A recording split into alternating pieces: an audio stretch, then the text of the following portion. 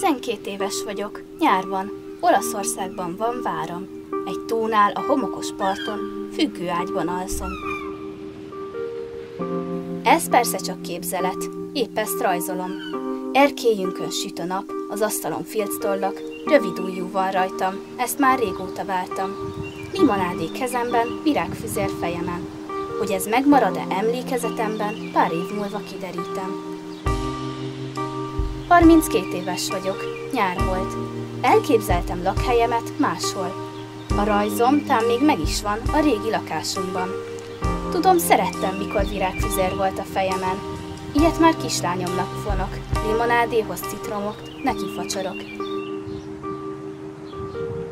Ez az emlék jó, és most már tudom, emlékszem.